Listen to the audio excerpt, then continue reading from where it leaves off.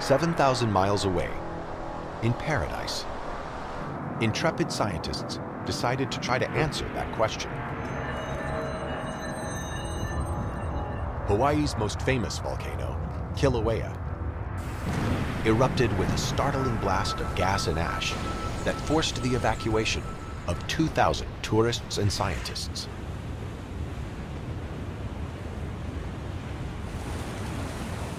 Despite the hostile environment, researchers decided it was time to test the noxious air of an erupting volcano at the source.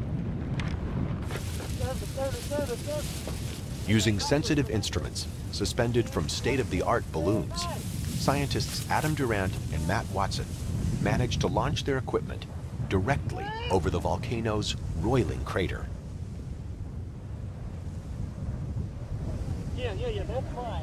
Even wearing protective gear, they could spend only a few minutes at the site.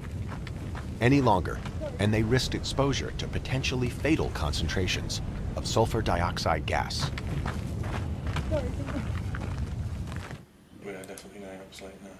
The balloons were piloted remotely by satellite link using a flight trajectory visualization system that incorporated Google Earth. Yeah. Yeah, they're all on top of the volcanic cloud.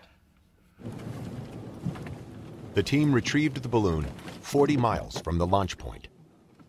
I found it. Yeah.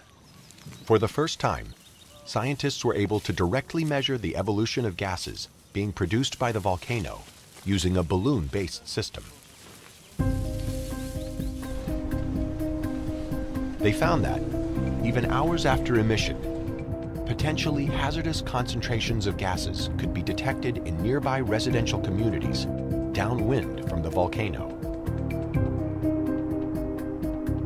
But fortunately, the gases dissipate quickly as they move away from the source. Of the world's active volcanoes, Kilauea is a relatively gentle and predictable one.